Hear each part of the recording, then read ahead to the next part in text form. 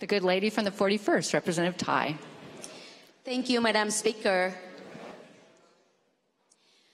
Madam Speaker, when we speak the word never again, not only do we need to understand why, but also asking how. It is a collective statement. We have the responsibility to uphold a stand against mass murder, genocide, and crimes against humanity. And the responsibility to ensure that our future generations understanding why and knowing how. Madam Speaker, the Holocaust experience did not begin with concentration camps. It began with bigotry, discrimination, hate. It began with spreading fears. It began with propaganda filled with lies. Dehumanizing language being used to describe a group of people.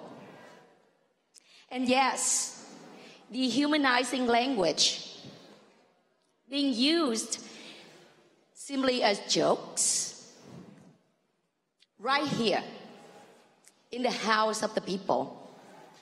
And when we tolerate bigotry, discrimination, hate, lies, never again is empty. What happened when racial, religious, and political differences are more important than humanity? Where does that lead?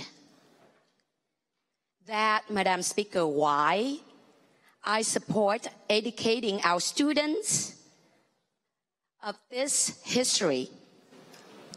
Educating our students why this history is relevant to their learning. Our education system should be equitable, relevant, age appropriate, and historically accurate. The standards and best practice need to be created and met.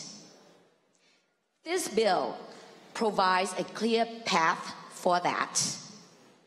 I urge our House member to vote yes so our future generations continue the path to preserve humanity and more importantly, reject hate.